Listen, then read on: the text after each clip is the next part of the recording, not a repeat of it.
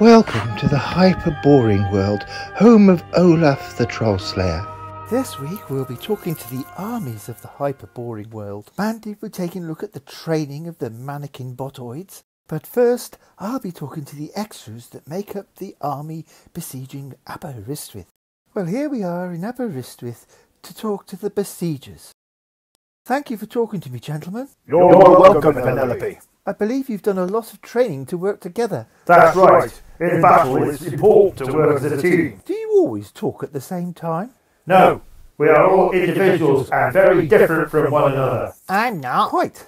And now, over to Mandy inspecting the mannequin botoids. Thank you, Penelope. I'm Watch here out, before miss. the walls. Are... Oh! Oh, um, I'll just wait till they've finished, I think. What nice shiny boots they've got.